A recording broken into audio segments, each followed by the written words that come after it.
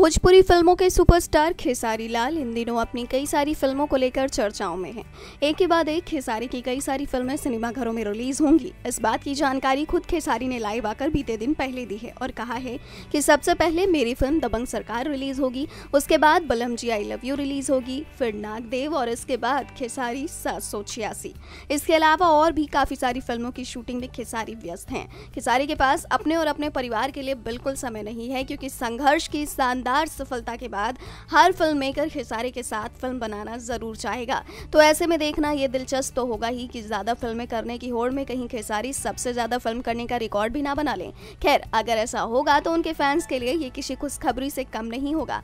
और खेसारी की किस्मत में चार चाँद जो लगेंगे, वो अलग। खैर, यहाँ हम आपको खेसारी की फ़िल्म संघर्ष से जुड़े एक खुशखबरी देने आए हैं।